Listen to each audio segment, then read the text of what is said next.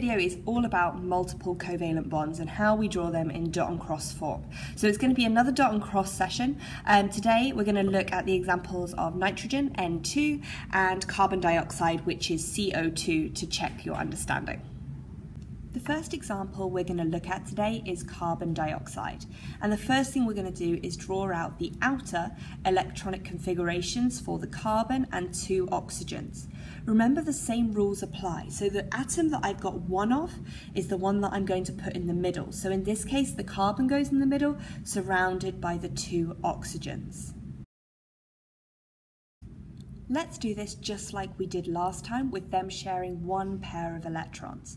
In each one of the gaps, I'm going to draw one cross and one dot, showing that they've shared a pair.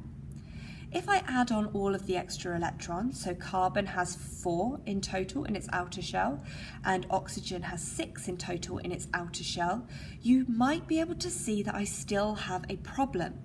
If I count how many electrons are in the outer shell of an oxygen, you can see I've only got seven.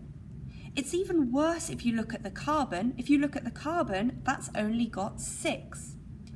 None of these atoms have managed to get a full outer shell by sharing electrons, which is a really big problem. So how do we solve this? The way we solve it is we form what we call multiple bonds, which is normally a double or a triple bond, which essentially just means that they need to share more electrons. What I'm going to do is I'm going to put an extra dot and an extra cross in each one of these shared regions. Now make sure that you don't create dots and crosses. If I put extra ones in there, I have to take them from the outer shells. Let's count the electrons up now. What we've now got is we've got eight electrons on the outer shell of the oxygen, eight on the carbon, and eight on the other oxygen. So, everything's now happy, and this is the structure of carbon dioxide. Just one more example for you today. Let's check out nitrogen, N2, which is another covalent compound that does have multiple bonds. The way that you could work this out is you draw out nitrogen. It has got five electrons in its outer shell.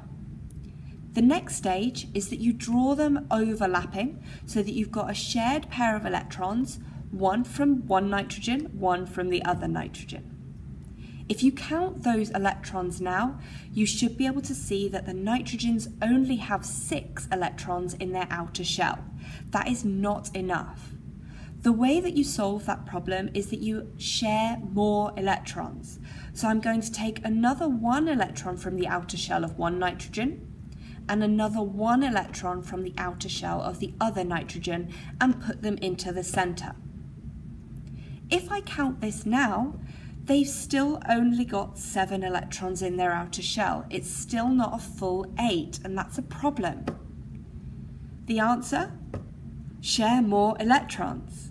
So you take another dot from the outer shell of the nitrogen and another cross from the outer shell of the other nitrogen and you put them in the center.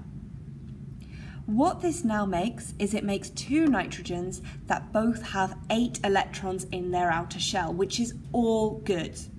This is what we call a triple bond because there are three shared pairs of electrons in that central region. The way we show that sometimes is like this. Other examples that you should be able to do include oxygen, which is O2, and ethene, which is C2H4, which is a little bit more complicated. Give them a go and then check out the answers in your book.